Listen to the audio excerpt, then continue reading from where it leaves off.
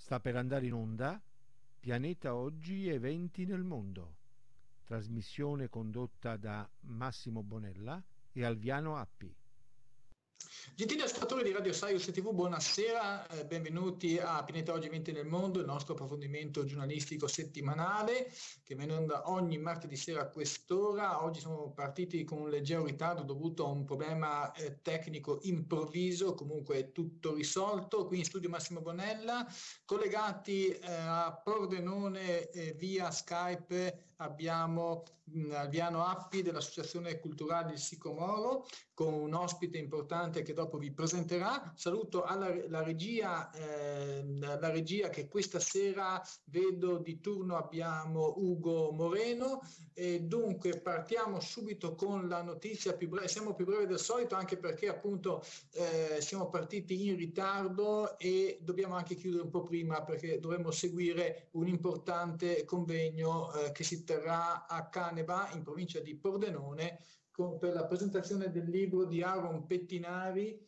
eh, quel terribile 92, ma dopo ne parliamo. Intanto una notizia eh, che emerge subito in primo piano, il caso Cucchi, al processo per la morte di Stefano Cucchi che vede imputati cinque carabinieri, il maresciallo Riccardo Casamassima ribadisce le sue accuse ai colleghi. Dunque, il maresciallo Mandolini mi confidò che c'era stato un casino perché un giovane era stato massacrato di botte dai ragazzi, eh, dice il test, e spiega che quando si si riferì ai ragazzi, l'idea era che erano stati i militari che avevano mh, mm, proceduto all'arresto. Poi racconta di un altro collega che gli disse di aver visto Cucchi ridotto male a causa del pestaggio subito. Disse che mai aveva visto una persona combinata così e che stavano cercando di scaricare sulla polizia penitenziaria la responsabilità. Dunque vedremo poi come andrà il, eh, il tutto è una notizia ovviamente come si suol dire in eh, corso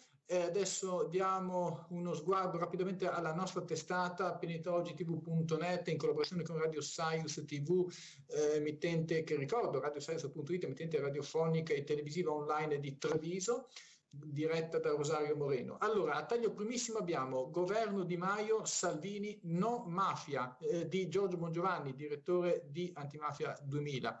Poi eh, un altro articolo, Peppino hai vinto di Sonia Bongiovanni.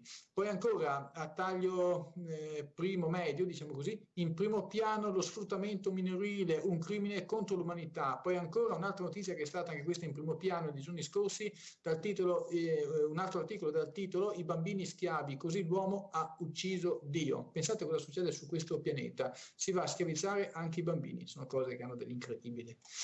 Poi l'edizione di eh, eh, Spazio 7 mh, mm, a cura di Radio Science TV, eh, dirette, ehm, lette in studio da Rosario Moreno, rassegna delle principali notizie che hanno caratterizzato la settimana appena trascorsa. Poi il nostro settimanale Pianeta Oggi Reporter, notturni di notte e parole, intervista al pianista Gabriele Civello, al termine intervista ad Enrico Giorgiutti del Cenacolo di Mestre Venezia in collaborazione con RST Radio Science TV. Poi c'è ancora, eh, il flash eh, che avevamo messo la settimana scorsa della morte di un grande eh, Paolo Ferrari, veramente un grande maestro teatrale della radio televisione italiana.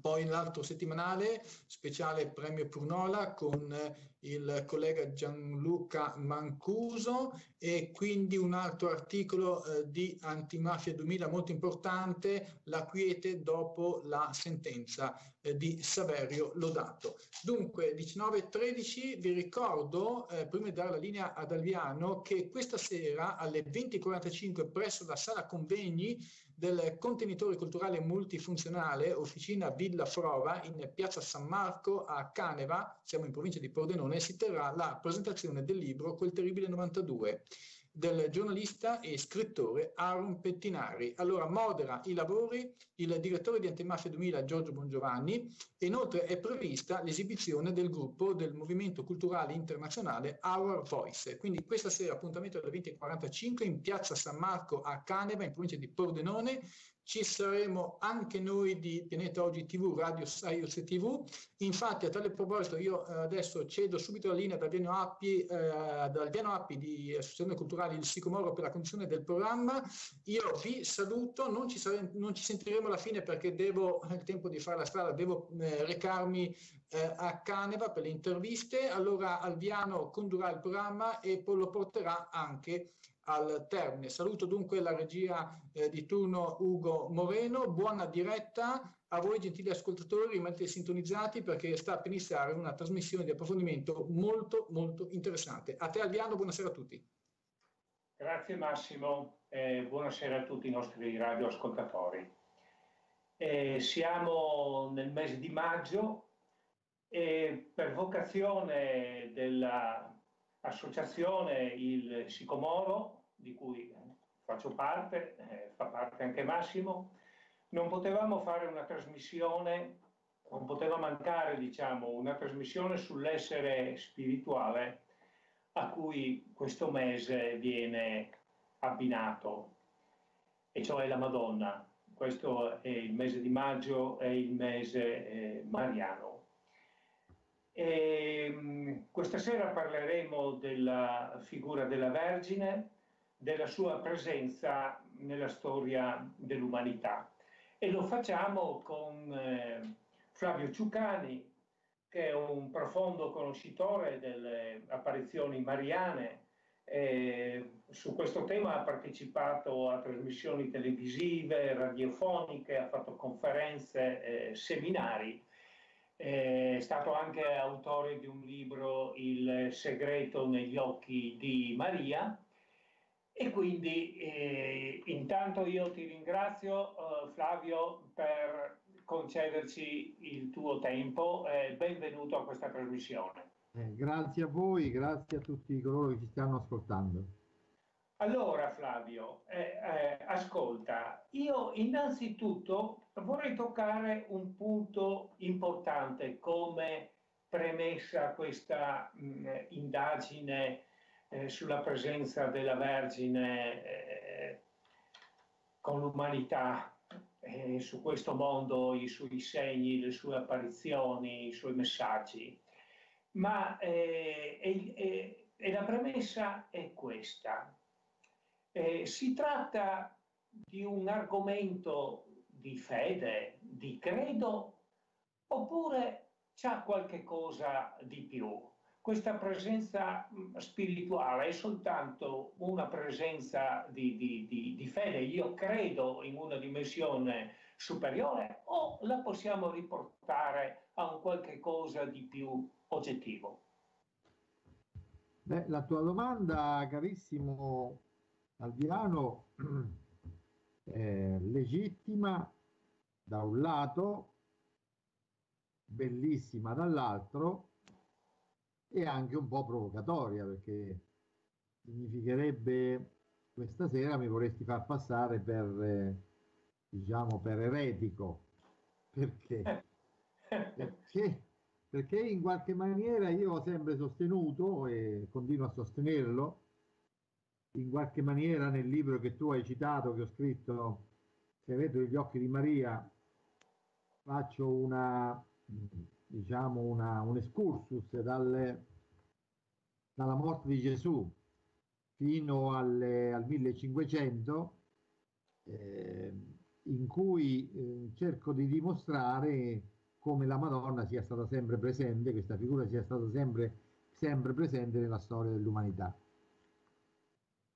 Se eh, l'altra sera, parlando dello stesso argomento con, eh, con eh, un altro gruppo, un gruppo di persone, eh, volevo far notare una cosa.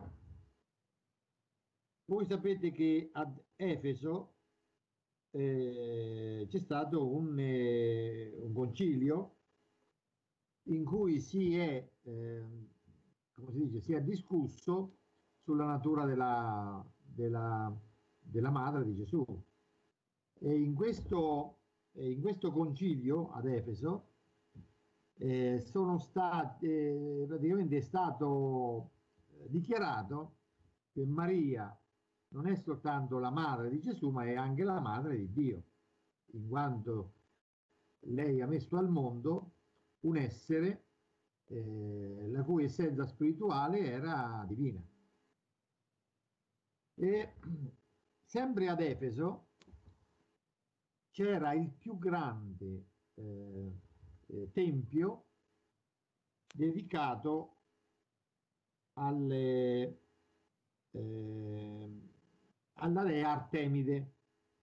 La dea Artemide era praticamente, diciamo, il nome greco di colei che da sempre era ritenuta la madre, la madre di tutti gli dei.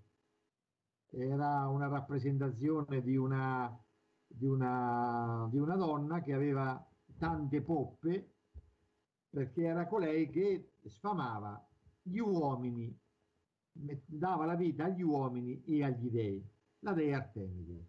Era il santuario più importante della, del bacino del Mediterraneo.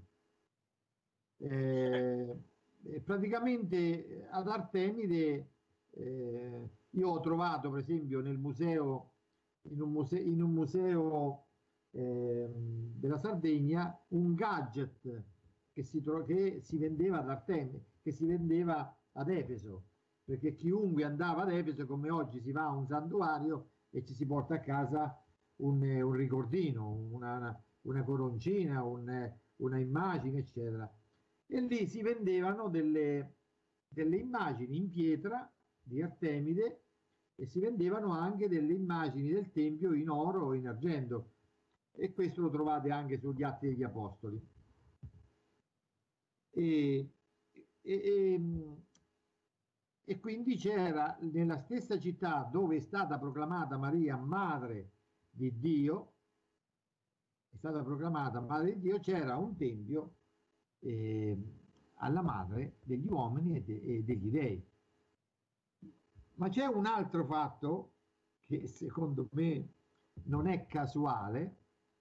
Quando, quando, eh, quando Giovanni, l'Apostolo Giovanni, è andato, ad, è andato ad Efeso per motivi di predicazione, eh, si è portato dietro la Madonna, si è portato dietro la Maria, madre di Gesù, in quanto era stata affidata a, lui da Gesù stesso. Vi ricordate, no? Sotto la croce. Esatto.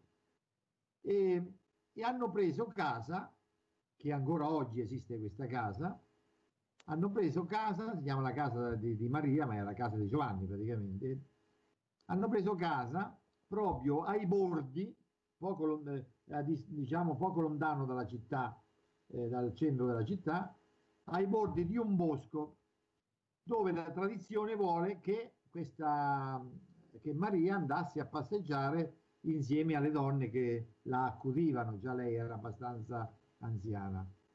E questo bosco era dedicato alla madre di tutti gli dei. Ora, voi vedete che esistono delle coincidenze, che coincidenze non sono, che fanno pensare che tutto sommato questa figura femminile è intrisa nella, nella storia dell'umanità perché è colei che eh, mantiene viva la spiritualità degli uomini con la natura, con l'universo e con il mondo stesso. È tutt'uno, cioè praticamente la tradizione antica e la tradizione moderna si uniscono in una sola figura che è la madre di Gesù. Eh, non so... Dimmi. Sì, non so se dovevi dire ancora qualcosa. No, no, eh... era, volevo dirti questo per dirti che praticamente si potrebbe andare all'infinito, cioè anche indietro. Eh, per esempio, eh faccio un, un, esempio, ti faccio un esempio e poi smetto. Eh, uh, sempre in Turchia esiste un tempio dedicato alla madre terra. Ora questo tempio, se uno lo vede, sono delle bellissime foto su internet, praticamente su, sulla roccia, su una parete rocciosa, è scolpito il tempio, scolpito la facciata del tempio, con tanto di colonne, con tanto di transetti, cioè tutto scolpito, viene scolpito. C'è anche la porta, ma la porta è scolpita, non si entra. Come per dire che il tempio della madre natura è la terra stessa, che il tempio della madre degli uomini è la terra stessa. Bellissimo. E, e, quindi dice, e questa è la figura femminile, diventa la figura che è l'anima della terra stessa.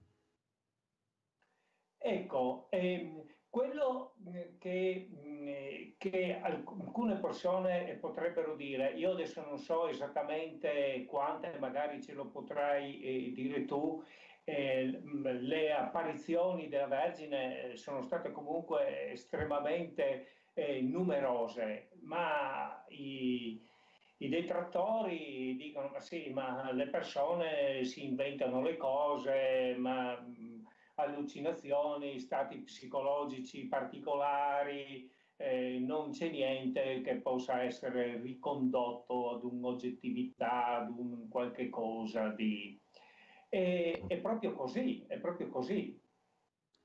Beh, guarda Alviano, qui interviene per forza, interviene la fede, però anche, anche la, una persona che crede deve, deve in qualche maniera eh, constatare una cosa che è importantissima.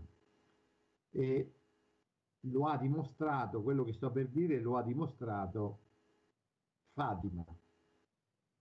Ed è questa.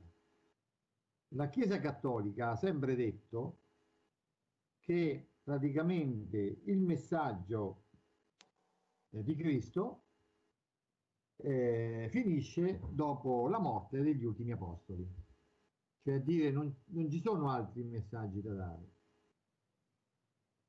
Ora, se questo fosse vero, se questo fosse vero, dovremmo cancellare duemila anni di storia di apparizioni mariane e non solo mariane, perché è apparso anche Cristo, sono apparsi anche i santi, i quali continuano a dare non, de, non, nuova, non un nuovo messaggio. Non è che eh, il, Vangelo si apre eh, in, in, in nuovi messaggi nelle apparizioni mariane. Il messaggio è lo stesso.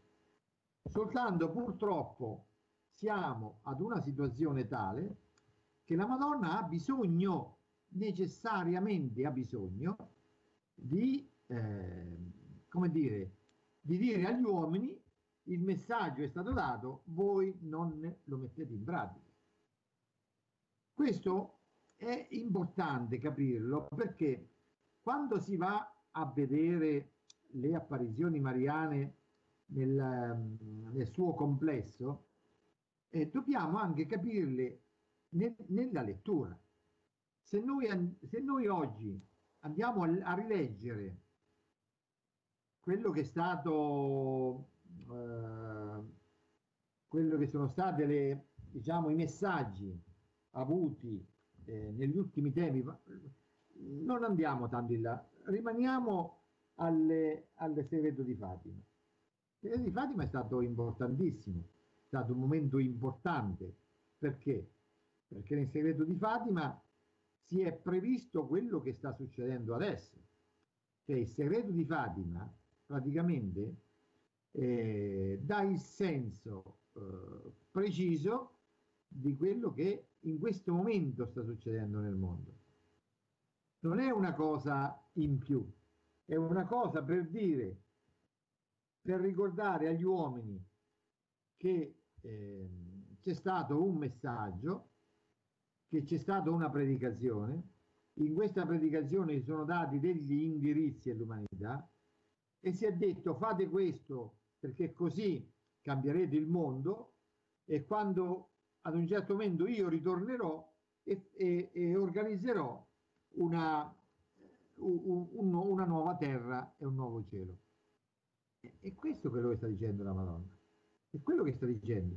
Lo ha detto sempre, in tutte, in tutte le epoche, cercando di farci ricordare ciò che sta avvenendo.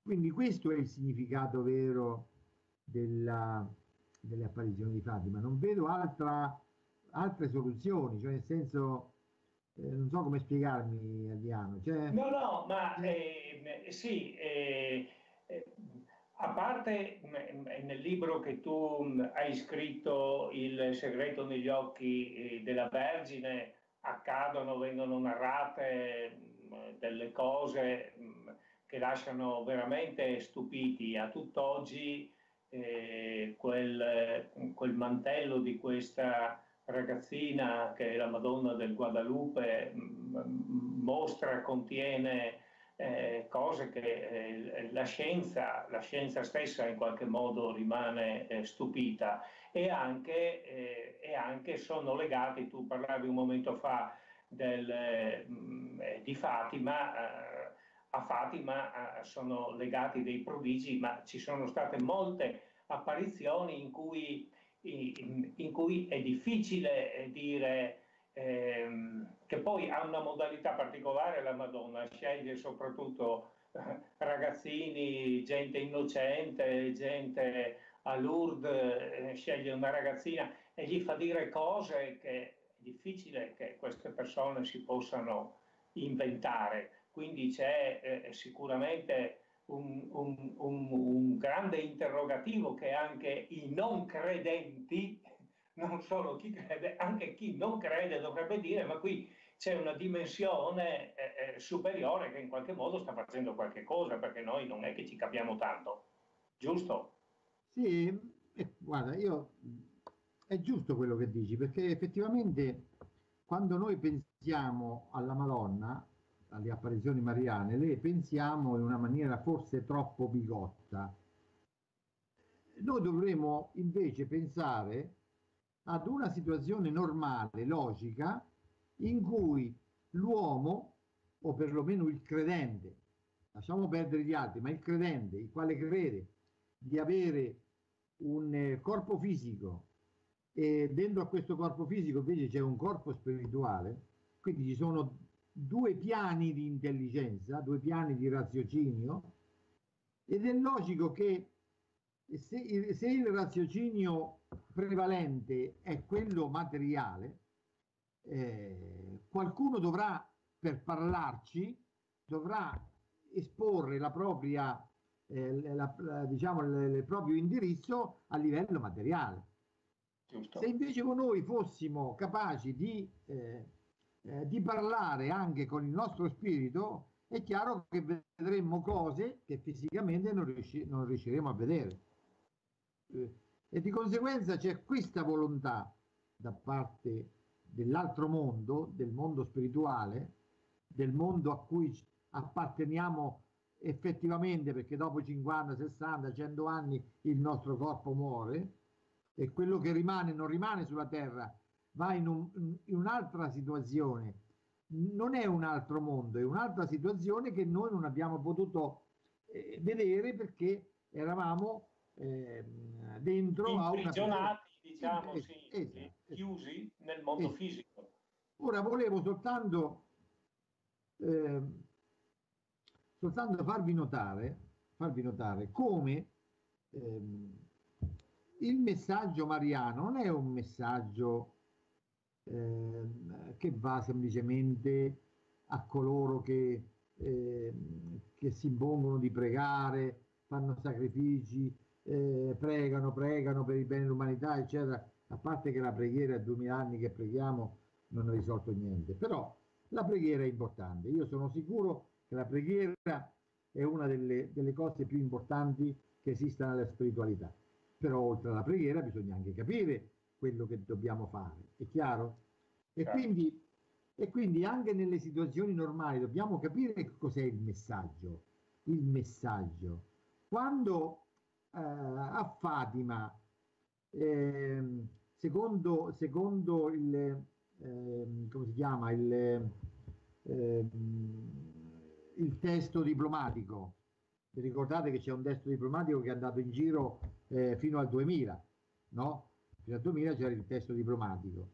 Nel testo diplomatico si diceva, lo avevo già detto ai bambini Melania e Massimino La Salette, quindi è una cosa che io ripeto, dice, dice l'apparizione.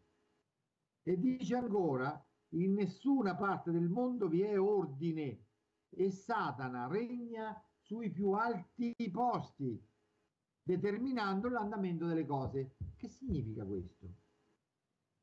Se un attimo ci pensiamo a quello che sta succedendo oggi, facciamo un semplice ragionamento da, diciamo, da oste, no? I quattro soldi, i cinque soldi.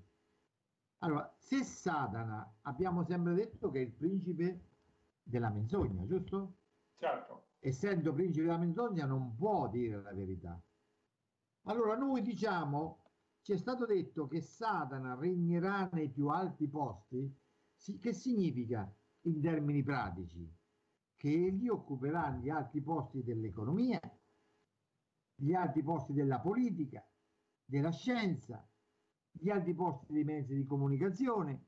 Allora noi che ci affidiamo a coloro che ci dicono guarda domani adesso faremo questa legge per, faremo questa legge per, se, se è Satana che sta lì, significa che sta dicendo una bugia.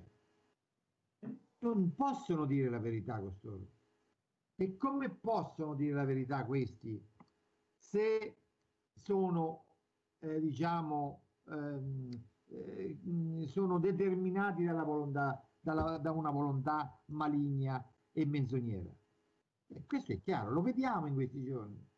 Trump, vediamo Trump che eh, non so per quale, cioè lo posso intuire, per quale eh, diciamo meccanismo abbia voluto mettere l'ambasciata a Gerusalemme. Fatto sì è che lui ha bisogno di, che, di non apparire che è lui che fa la guerra, che provocherà la guerra, ma deve essere un'altra persona che provoca la guerra. E beh, questo, questo signor Netanyahu si è permesso di dire che l'Iran non è democratica perché non rispetta le regole. Ma lo Stato di Israele non l'ha mai rispettate le regole.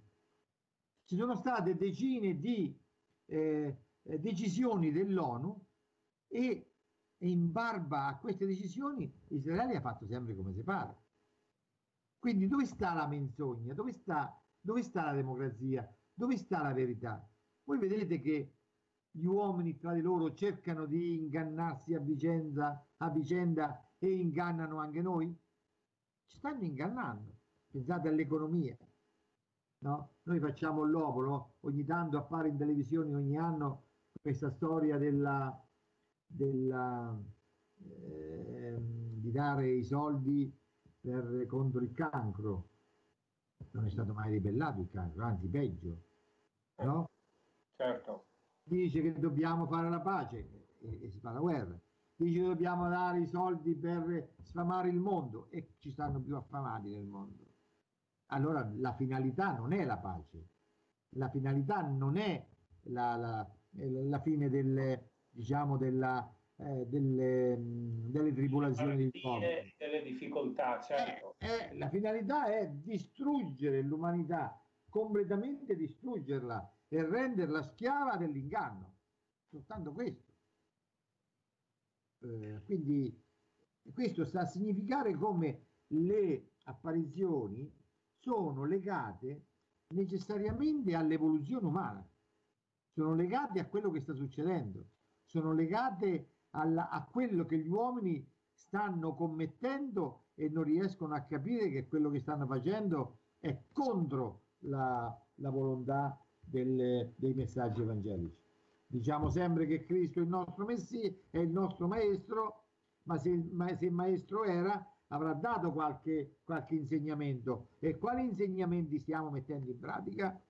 Ecco allora il significato delle apparizioni maniere.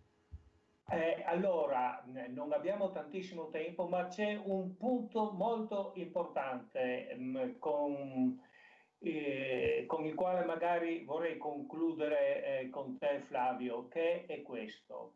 Partendo sempre dalle apparizioni di Fatima, la Madonna dice ai eh, bambini, ai tre pastorelli, eh, venite qui ogni tre, eh, giorno 13 del mese per sei volte. Essi andranno dal, dal 13 di maggio fino al 13 di ottobre. E poi dice, venite, e poi io appari, ritornerò una settima volta. Ecco, eh, io penso che anche a questa settima volta siano legati importanti messaggi, ma di questa settima volta pochi sanno di che cosa si tratta. Vorrei che tu svolgessi un poco questo tema. Beh, io ho seguito le apparizioni mariane, eh, diciamo un po' quasi tutte, quelle che ho potuto studiare, ne ho studiate tante, eccetera. Però una di quelle che oggi fa parte delle diciamo, del, del sacco pieno di eresie, perché ognuno che dice qualcosa che va poco poco contro alle tradizioni della Chiesa Cattolica eresia, eh, ci dobbiamo ricordare delle quante eresie la Chiesa Cattolica ha condannato che poi oggi invece le, le, le rimette sul piatto della fede. Eh, a parte questo, io ho seguito eh, dall'inizio, diciamo, la storia di, di, Giorgio Bongiovanni. La storia di Giorgio Bongiovanni, il quale eh, la Madonna gli è apparsa eh, nel mio paese e gli ha detto di andare a Fatima perché gli avrebbe dato, gli avrebbe, lì sarebbe successo una cosa importante. Lui è andato e nell'apparizione mariana gli ha, nell'apparizione che ha avuto nella piazza, sotto la stessa quercia dove era apparsa nel 1917, e gli ha dato, gli ha dato una, una missione. Questa missione era proprio questa, era quella di divulgare il messaggio di Fatima e quella di eh, smascherare l'anticristo. Eh, è quello che Giorgio Bongiovanni ha cominciato a fare e continua a fare impegnato appunto nello smascherare una delle facce dell'anticristo, che è quella dei mafiosi, e eh, diciamo a, eh, a, a, diciamo ancora eh, in questa missione a proclamare il ritorno di Cristo. Questa è la missione che lui sta facendo e guarda caso, e guarda caso eh, è stato proprio il, a settembre che è avvenuta questa apparizione, il 2 di settembre. Quindi io credo, io credo fermamente che, eh, che questa sia stata la settima apparizione. E questo sia stato il momento, il momento per chiudere il cerchio eh, di, queste, eh, di questi messaggi, in quanto proprio nei messaggi di Giorgio Bongiovanni ritroviamo quello spirito di, di eh, leggere, di leggere gli avvenimenti dell'umanità, di leggere gli avvenimenti della politica e dell'economia, di leggerlo con la finalità del messaggio di Fatima. E in questo senso io credo che sia proprio, eh, sia proprio eh, la, la, settima apparizione, in questo senso. Ecco, eh, sì, guarda,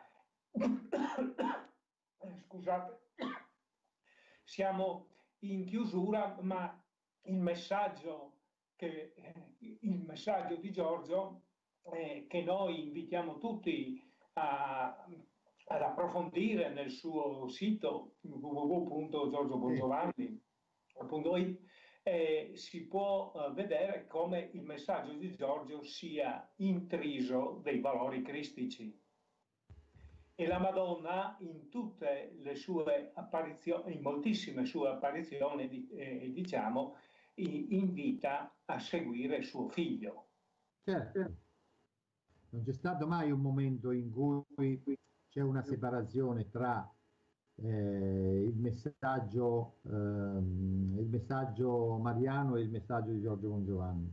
Che, che se ne dica, che, che ne abbiano detto i detrattori, ma il messaggio, eh, come si dice, il messaggio che Giorgio dà è un messaggio sicuramente eh, dettato, dettato dalla, eh, dalla, volontà della Madonna di, eh, eh, di come si dice, di, di annunciare la fine dei tempi. Se gli è stato dato di dire che Gesù sta tornando, significa che questa è la fine dei tempi e di conseguenza io credo che, eh, che appunto non ci sia stato mai un momento, eh, un momento di separazione tra il messaggio di Giorgio Giovanni e il messaggio della Madonna, per cui io credo che sia importante eh, che eh, importante diciamo approfondire appunto eh, i messaggi che Giorgio dà sul suo sito e che in questo momento sarebbe difficile leggerli io ce l'ho sotto mano ma eh, ci prenderebbe un sacco di tempo ma anche eh, perché Però... nel suo sito si trovano tantissimi eh, segni e messaggi dati dalla Madonna nel tempo certo. Giorgio Uh, ogni volta che ne riceve qualche cosa in questo senso è il primo a dare importanza a quanto la madre con le sue sanguinazioni, con le sue lacrimazioni, con le sue cose va dicendo a questa umanità. Sì, eh, ecco. anche perché eh, lui è stato ultimamente, lo sapete che è stato eh, a, eh, a, nel, nel, monastero dove, dove Lucia ha vissuto e ha avuto dalla, dalla superiora di questo monastero la certezza che il terzo segreto di Fatima quello eh, promulgato il 13 maggio, no, quello promulgato nel 2000 da, da Solano non è completo. La, la, madre superiore, che era l'amica di, di, Lucia, ha detto che non, è, che, non è, che non è completo quello che la Chiesa ha, eh, diciamo, ha divulgato. C'è una parte importante che è quella in cui si vede l'angelo, questo angelo che viene fermato da, da, dalla Madonna eh, sopra, eh, sopra, la croce fatta di, di, di, un legno marcio dove il, il, il, il vescovo vestito di bianco viene ucciso, viene ucciso, questo vescovo sulla, sull'apparizione. Eh, nel messaggio di, di, di Lucia dice, continuava dicendo che l'angelo avrebbe toccato il polo della Terra e sarebbe stato uno, uno sconvolgimento globale. E questo non è stato detto e non è stato, non è stato tramandato, invece sul, sul testo c'è, c'è un'altra cosa, capito? Bene, eh, allora Flavio, eh, noi invitiamo le persone quindi ad approfondire il, il, tema. Siamo in chiusura, noi ti ringraziamo. Vogliamo, vogliamo della... soltanto leggere la finale di quello che ha scritto il 13 maggio, proprio le ultime due frasi. Okay, okay. Dice che, diceva Giorgio, l'anticristo ha paura ed inizia a tremare di fronte all'ingalzare della verità, cioè che si cominciano a sapere tutte queste cose. Inizia così il rapido e inesorabile cammino che ci porterà al trionfo del cuore immacolato della Madre Santissima. Questa era l'ultima frase della, di questo messaggio che potete leggere appunto sul sito di Giorgio Bongiovanni. Bene, io ti ringrazio della partecipazione, delle informazioni che ci hai dato, della sensibilità con la quale tratti questi temi. Ringraziamo i nostri ascoltatori e passiamo la linea alla regia di Ugo Moreno per Radio Saius. Buonasera Grazie a voi, a arrivederci. E a risentirci. Grazie. Avete ascoltato Pianeta Oggi, eventi nel mondo. Trasmissione condotta da Massimo Bonella e Aviano Appi. Vi diamo appuntamento alla prossima trasmissione.